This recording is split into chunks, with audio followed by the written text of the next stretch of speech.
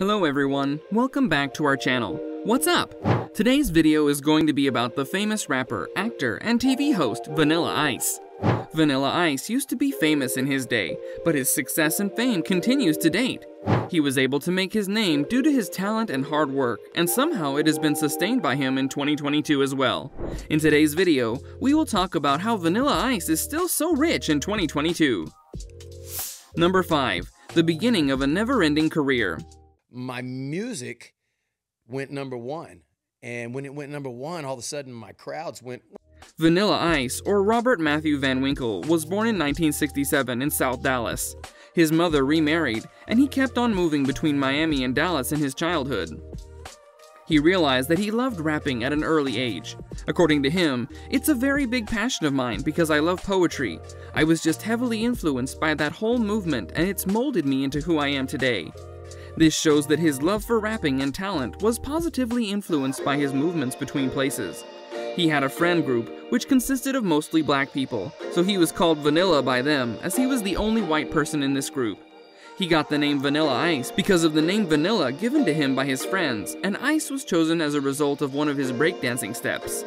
Number 4. The Struggle didn't really come out for three years later. We didn't have enough money to buy a video, so I had to borrow some money to make the video. And Vanilla Ice went through a lot of struggle to reach where he is today.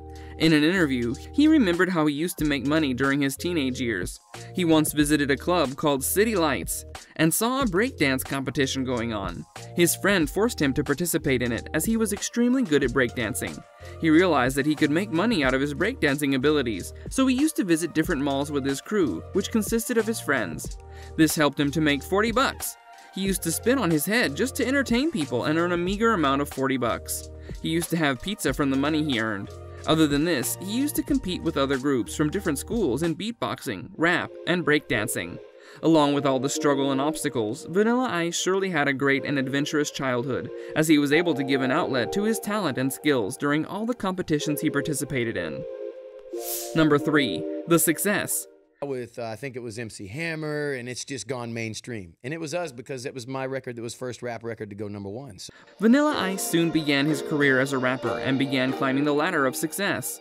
Initially, he started to open the shows of famous rappers. Moreover, the audience that used to visit his shows was all black. There was not a hint of any white people, but things began to change soon. He started getting a white audience when he opened the show for MC Hammer. Although he never thought that his audience would get bigger and include people from all races, seeing white people as his audience was an extremely positive sign of success for him. He started getting successful with time, and his career was at its peak in the 1990s. He started visiting different countries and performed there to make them understand what rap music really is. That is how he started catering to wider demographics. During the 1990s, he was able to sign a contract with SBK Records, which paved his way to success. He recorded To the Extreme again, and it became a commercial hit at that time. For a long period of 16 weeks, it was able to remain at number one at the Billboard. He was becoming a popular face amongst the crowd, and people began to memorize his raps by heart. Such was his impact. Number 2. Selling 160 million records. 160 million records and still selling. My record that was released 20 something years ago.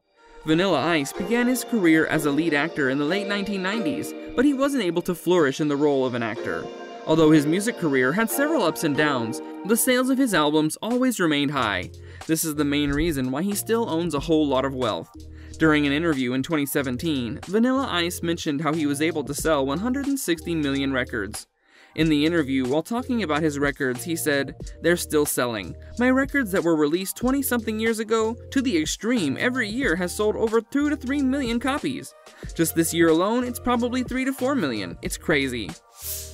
Number 1. Still rich in 2022. According to Vanilla Ice, his record, To the Extreme, was released some 20 years ago, but still remains a hit. He also mentioned how he has played in countries including China, Russia, and some Muslim countries as well. His success and fan following is so huge to date that he plays in countries where people don't even speak English. His net worth is more than $20 million in 2022, which shows that his fandom has still not changed. Vanilla Ice is one of the rappers who were able to continue and maintain their fan following for more than two decades. With that, we come to the end of our video. If you liked this video, please press the like button and hit the bell icon to receive notifications in the future too.